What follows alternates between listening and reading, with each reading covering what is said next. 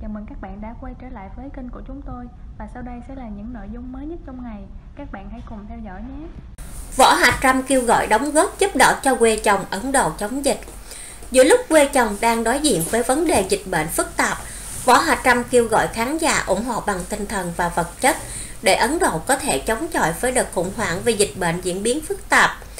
Nữ ca sĩ cho biết, nhiều người nghèo đến độ không có 10.000 để mua khẩu trang. Mới đây trên trang cá nhân của Võ Hạ Trâm đã có những chia sẻ về tình hình diễn biến phức tạp tại quê của ông xã.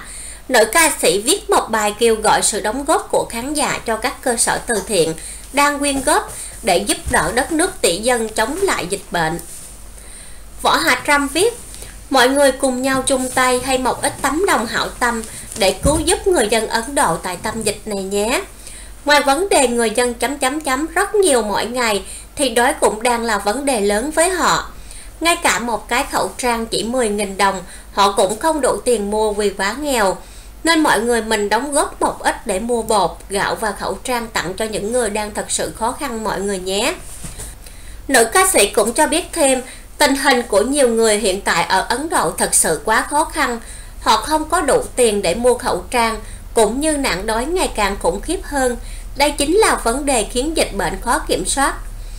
Trong bài viết mà Võ Hạ Trâm nhắc đến, cơ sở này đã hỗ trợ cho những hoàn cảnh khó khăn ở Ấn Độ rất nhiều phần quà.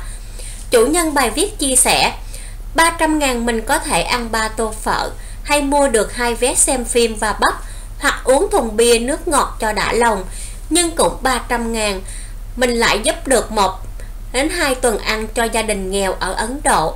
Điều đó giá trị biết bao, xin sẽ chia chút tình để niềm tin trong nhau được nuôi dưỡng. Được biết, nhà chồng của Võ Hạ Trâm đều ở Ấn Độ.